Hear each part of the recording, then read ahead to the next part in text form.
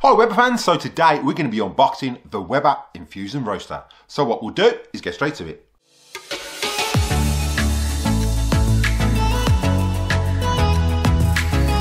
Hi Weber fans, welcome back to the channel. Again, those who are new to the channel, if you find you're getting value out of this content, then contemplate. Slap that subscribe button, it's absolutely free. Ding that bell for notifications so you don't miss any upcoming episodes.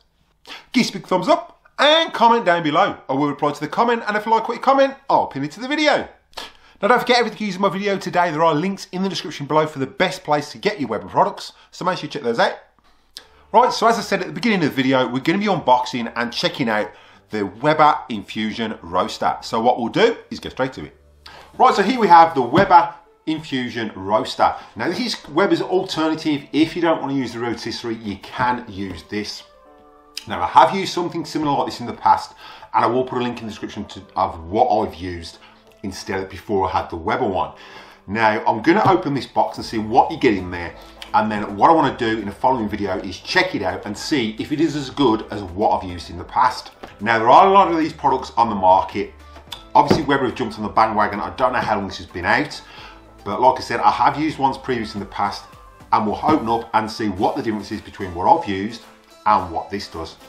So what we'll do is start unboxing it.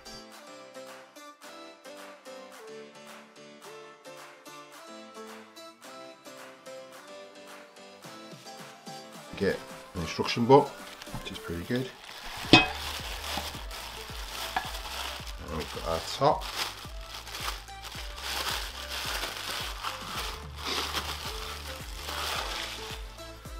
There.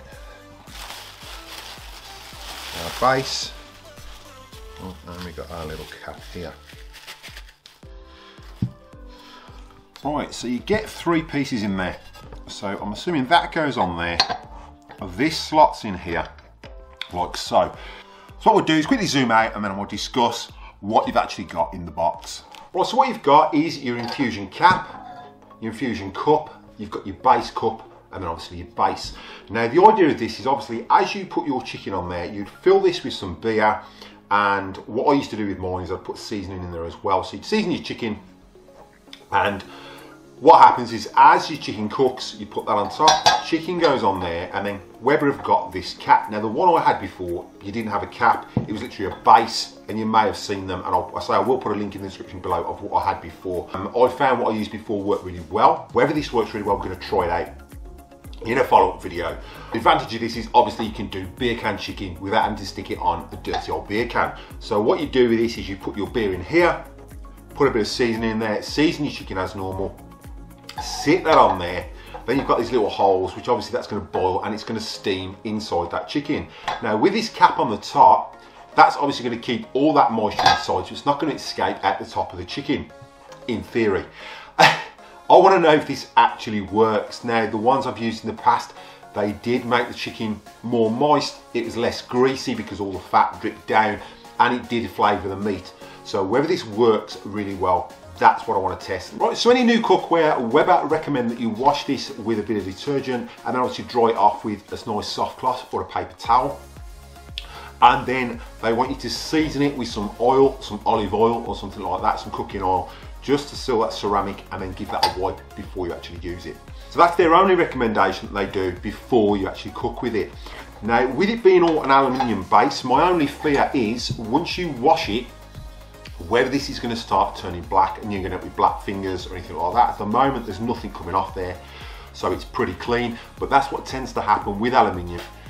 Now, whether it's going to damage it in the dishwasher, I don't know, but Weber recommends the dishwasher safe, so it is covered by that warranty. If anything happens with it, it says it's dishwasher safe actually in the instructions. Right, so this does come at quite a hefty price, and I will put a link in the description below of probably the best place to get it from. And like I said, I will put links of alternatives. So wait until I've tried this out in the next video and see what our review is and how we go with cooking the chicken on it. Whether we can get it in the BBQ. Like I said, I'm pretty sure you won't fit the two and a half kilo chicken I'm gonna put on there in the BBQ, standing up, which is what I normally have cooking lying down. Now, the first thing I wanna check out is whether this will fit in the BBQ. Because to me, it looks quite tall. Now, I know I can fit a chicken in sitting down, but whether we can fit a chicken in standing up. So what we'll do is grab the baby Q and see what height we've got with this sitting in there. Well, so we've got our baby Q and this is going to go on straight on the grill. That's how Weber recommend. Now your chicken's going to sit on top of there, obviously with the cap in. Now if you've got a small chicken, to me that looks like it's going to fit. So we'll just try that. And that's not catching at all. So it will fit in the baby Q, so long as there's nothing higher than that. So now what we'll do is we'll raise it up by just putting the convection tray on and seeing if it catches them. I'm gonna take that off. Now I know you're not going to cook it with the convection tray on there, but this is to give you a perspective of whether you can cook it in a baby Q with a lower lid. So we'll sit that at the back and see if she catches. And that, that's touching the lid now, okay? So we can put it in the middle. Still, still touching. So what we've got distance wise is we've got about 10 mil above there. So if you've got a chicken, obviously chicken's not going to be that thin, it's going to come out. So I think a chicken is going to catch unless you've got a very small, really small chicken to go on there. So to take that off, and I will test this in the next video, I will try a chicken, get a, full size chicken that I use and see if that actually fits on there.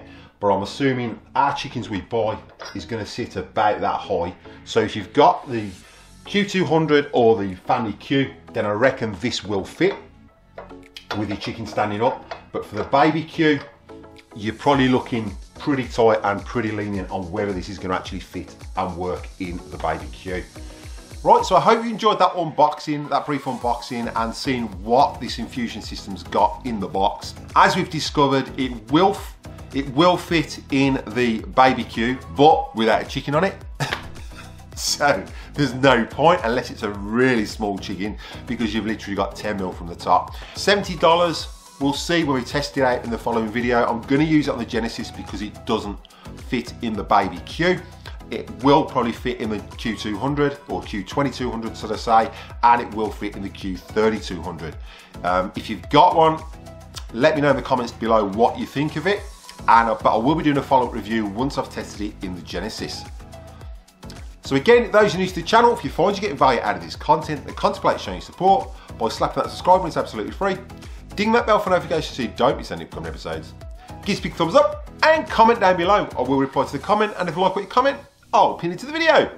So what we'll do is cut to any bloopers and I'll catch you in the next one.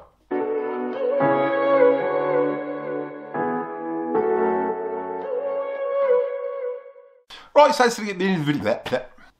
But wait until I've tried this out and see what my reviews is with